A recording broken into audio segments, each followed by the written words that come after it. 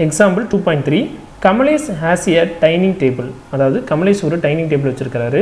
Circular in shape of radius seventy centimetre அதாவது அது வந்து சர்க்குலர் ஷேப்பில் இருக்குது அதோட ரேடியஸ் பார்த்தீங்கன்னா seventy centimetre whereas Tarun has a circular quadrant dining table அதாவது தருண் அதே மாதிரி ஒரு டைனிங் டேபிள் வச்சுருக்காரு. அது வந்து சர்க்குலர் குவாட்ரன் ஷேப்பில் இருக்குது அதோட ரேடியஸ் ரேடியஸ் பார்த்தீங்கன்னா ஒன் ஃபார்ட்டி சென்டிமீட்டர் கொடுத்துருக்காங்க.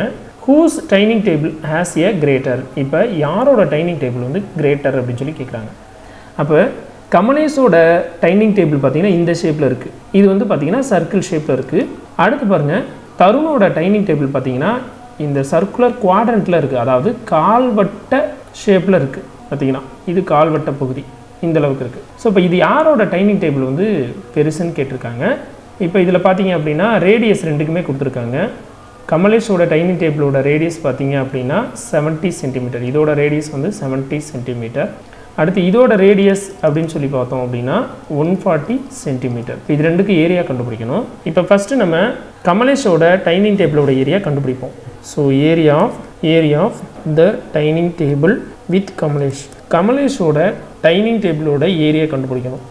சர்க்குலர் ஷேப்பில் இருக்கிறதுனால இதோட ஏரியா கண்டுபிடிக்கிறதுக்கு ஃபார்முலா வந்து பையார் ஸ்கொயர் ஏன்னா circle area of a circle equal to pi r square so pi r square square unit இப்போ இதோட ரேடியஸ் அப்படின்னு பார்த்தோம் அப்படின்னா நமக்கு கொடுத்துருக்கிறது radius r is equal to seventy சென்டிமீட்டர்னு கொடுத்துருக்காங்க. ஸோ அதை அப்ளை பண்ணிங்கன்னா அதே மாதிரி பை வந்து டுவெண்ட்டி டூ பை செவன் அப்படின்னு அப்ளை பண்ண சொல்லியிருக்காங்க. So twenty two by seven into r பார்த்தீங்கன்னா seventy so seventy into seventy அப்படின்னு எழுதணும். இப்போ பார்த்தீங்கன்னா one seven is seven ten seven sir seventy so இது எல்லாம் மல்டிபிள் பண்ணிங்கன்னா twenty two into ten into seventy seven hundred இப்போ இதை மல்டிபிள் பண்ணிங்கன்னா டுவெண்ட்டி டூவையும் செவனையும் மல்டிபிள் பண்ணிங்கன்னா two into seven fourteen next ஒன்று remainder two into seven fourteen fourteen plus one fifteen இங்கே ரெண்டு ஜீரோ இருக்குது இப்படி போட்டுக்கோங்க.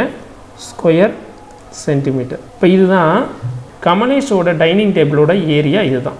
இப்போ இது வந்து நம்ம கண்டுபிடிச்சிருக்கோம். நெக்ஸ்ட்டு இந்த கால்வட்ட ஷேப்பில் இருக்கக்கூடிய இந்த டைனிங் டேபிளோட ஏரியா கண்டுபிடிப்போம். So area of the area of the circular quadrant dining table with Tarun. தருணோட dining டேபிளோட ஏரியா கண்டுபிடிக்கணும் அப்படின்னா area of a circular quadrant is equal to one by four into pi r square square unit இதுதான் formula so இதில் நமக்கு இங்கே R கொடுத்துருக்காங்க. R வந்து one forty centimetre அப்படின்னு கொடுத்துருக்காங்க ஆல்ரெடி ஸோ அதை அப்ளை பண்ணிங்கன்னா one by four into bike value twenty two by seven apply பண்ண சொல்லியிருக்காங்க. ஸோ நெக்ஸ்ட் ஆர் பார்த்தீங்கன்னா one forty into one forty இது பாருங்கள் இதில் one seven is seven two sevens are fourteen அடுத்து இந்த ஜீரோ அப்படி எழுதிக்குவோம்.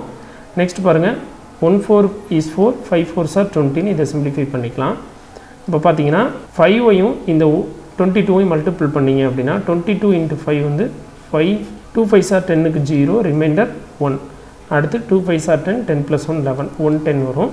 இன்ட்டு ஒன் ஃபார்ட்டி இந்த ஒன் டென்னையும் ஒன் ஃபார்ட்டியும் மல்டிபிள் பண்ணணும்.